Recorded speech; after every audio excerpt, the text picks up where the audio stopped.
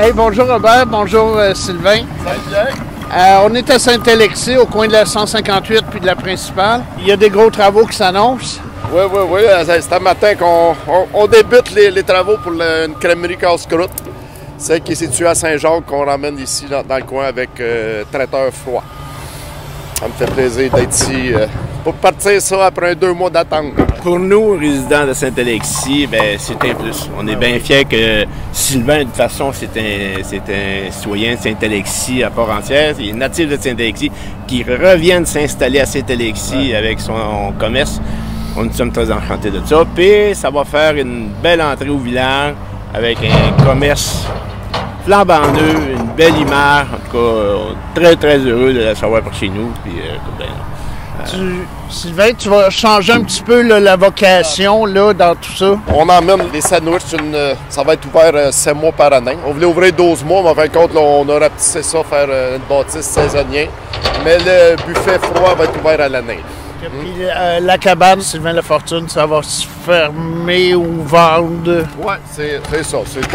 C'est à, vendre. Puis si jamais on ne vend pas au mois d'octobre, on ferme ça. Puis ça va être seulement euh, une cabane à sucre comme, euh, comme dans le temps, deux mois par an. C'est bon. Fait que gros investissement quand même à Saint-Alexis. Euh, oui. Ah oui, pour moi, on devrait se rendre quasiment un investissement de 5, entre 5 et 500 et 575 000 environ. Ça fait des revenus de taxes pour le verre, non, euh, non, on peut pas, on peut pas être euh, contre ça. Hein. Euh, écoute, euh, nos petits villages qui se développent euh, de même, c'est sûr qu'on a, euh, il y a quand même un bel emplacement côté de la 158, une belle visibilité.